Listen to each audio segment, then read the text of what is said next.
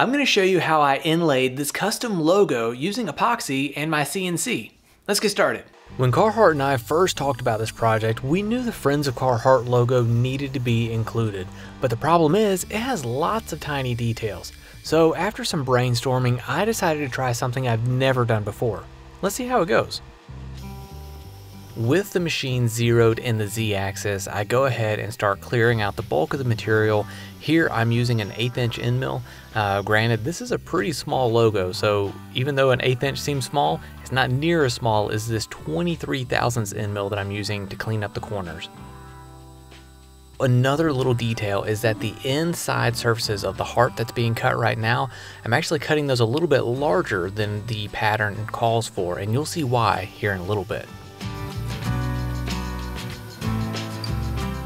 To fill in the different features of this logo, I'm using high performance epoxy by TotalBoat, and I'm also using Mixol pigments to get the right colors that I need. In an effort to keep this project as tidy as possible, I pour out the minimum amount of epoxy that I need, and I come back with my mixing stick and try to push it into the corners. And to get rid of the bubbles that will almost certainly show up, a heat gun is your best friend.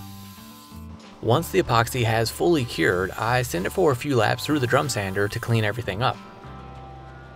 For this next step on the CNC, I'm using that same 23 thousandths end mill to cut out all the details.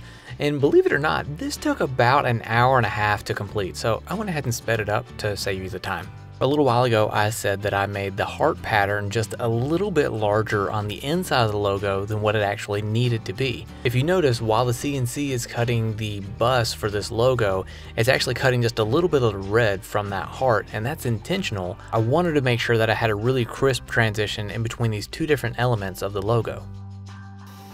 Just to give you a little context, this is the cover for an electronics cavity on an electric guitar. So I'm pre-drilling for the screws that will hold this cover in place, and I'm also cutting out the profile of it. I didn't completely cut out the cover at this point because I still needed to do another epoxy pour and run this thing back through the drum sander. So I left the piece a little bit larger right now and I just trimmed it up by hand at the very end.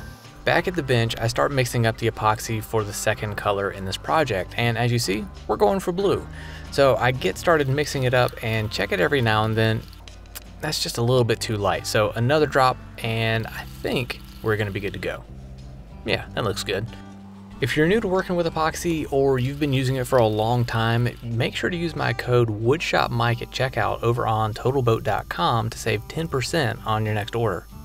After some delicate application and a little bit of amazing heat gun work on my part, I let the logo set for about 24 hours before I run it back through the drum sander to clean everything up.